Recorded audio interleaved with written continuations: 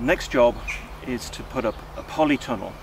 Now we've got the greenhouse on the allotment already and we've had that now for three summers and it's man we've managed to fill it to overflowing in each summer and we think that a polytunnel will actually help us with some of the overflow from the uh, from the greenhouse but what the polytunnel will also give us is the opportunity to grow some vegetable crops during the winter which would otherwise be quite difficult to grow outdoors. So these are the instructions. These are some of the bits that we've got to put together. So um, here goes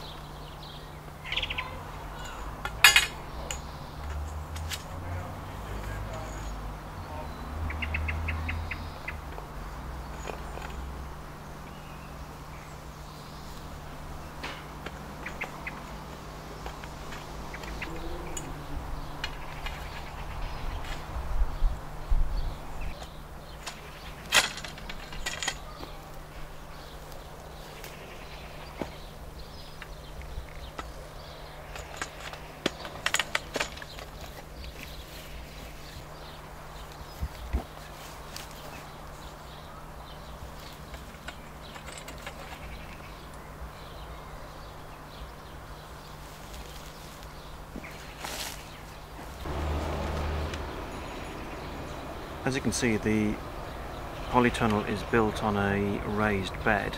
We've had the bed in for about a year now uh, but it's designed to take a polytunnel on top of it. Now David who normally does the filming is the one who's actually building it today.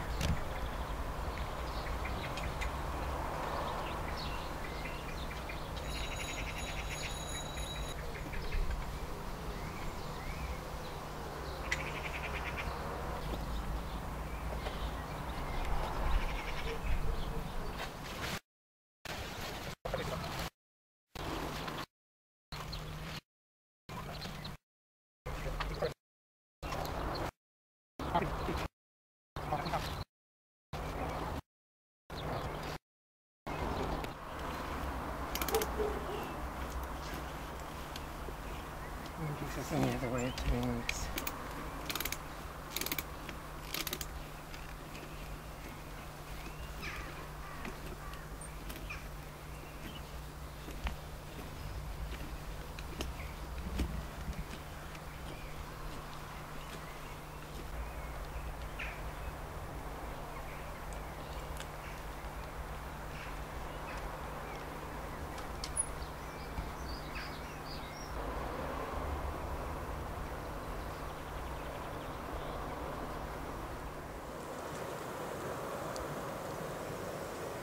Well here we have the finished product. It's now been up and in use for about two months. I'll just give you a quick glimpse inside.